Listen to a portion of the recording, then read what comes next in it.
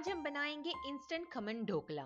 और इसके लिए हमें सामग्री चाहिए दो cup besan 300 ml water 4 tablespoon sugar 1 teaspoon soda 1 teaspoon citric acid salt to taste 1 teaspoon राई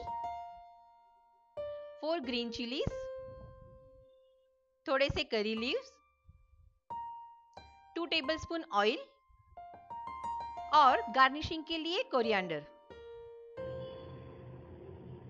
खमन ढोकला बनाने के लिए हमें इस तरह का बड़ा सा बर्तन चाहिए, जैसे इसमें मैंने थाली रखी है जिसमें हमें ढोकले बनाने हैं और ये एयरटाइट ढक्कन होना चाहिए।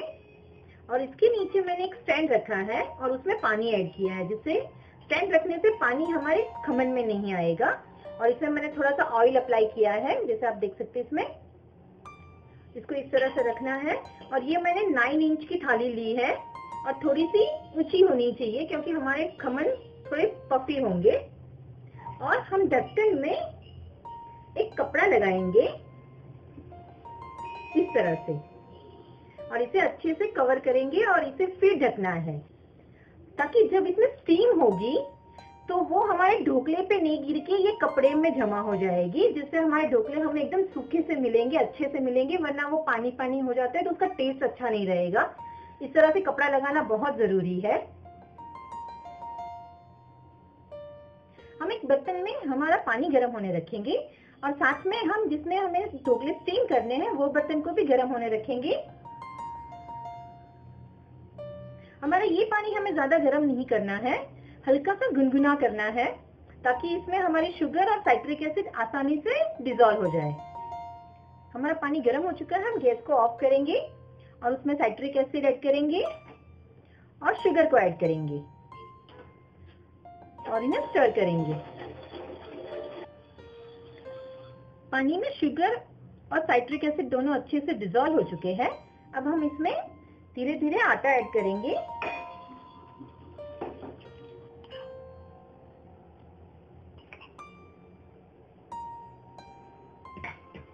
आटे को थोड़ा थोड़ा करके ऐड करना है।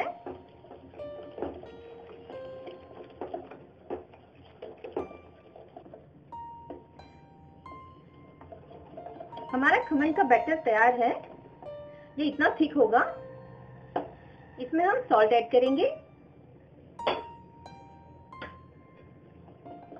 अच्छे से मिक्स करेंगे।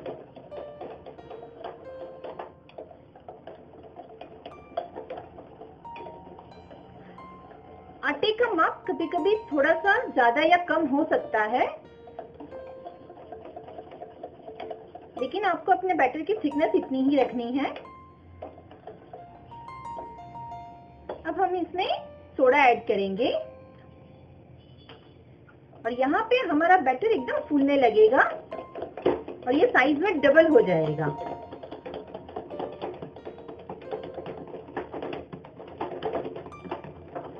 कलर भी चेंज हो जाएगा।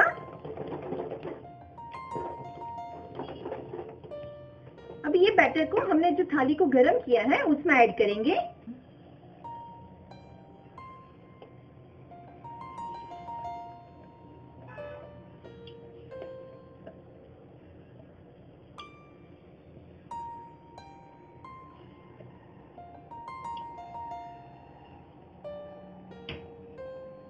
और ढक्कन लगा देंगे इसका। और इसे हाई फ्लेम पर 10 मिनट तक कुक करना है। 10 मिनट हो गए हैं। हम गैस को ऑफ़ करेंगे, लेकिन 5 मिनट तक इसे इसी तरह से रहने देंगे। और 5 मिनट के बाद हम ढक्कन को खोलेंगे। 5 मिनट हो गए हैं हम ढक्कन को खोलेंगे।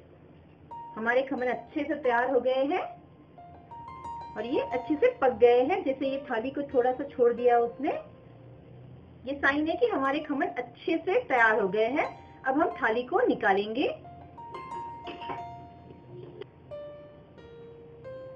हमने थाली को बाहर निकाल लिया है। हम इसे और 10 मिनट तक ठंडा होने देंगे और उसके बाद हम इसके ऊपर तड़का लगाएँगे। हमारे ढोकले ठंडे हो गए हैं। हम इसे कट करेंगे।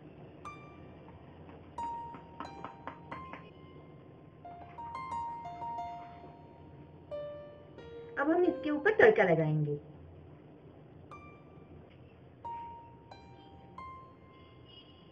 तड़के के लिए हम गैस ऑन कर लेंगे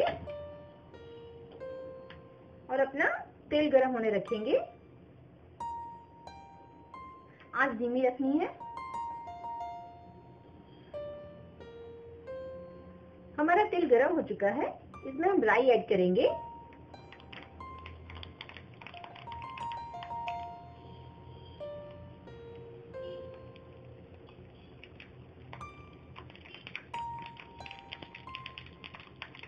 करी लीव्स ऐड करेंगे और ग्रीन चिलीज ऐड करेंगे।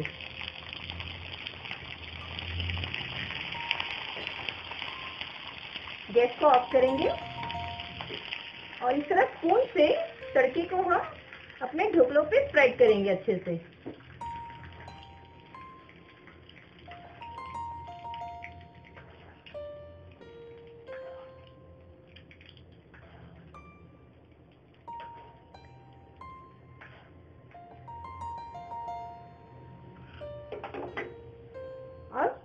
कोरिएंडर से गार्निश करेंगे।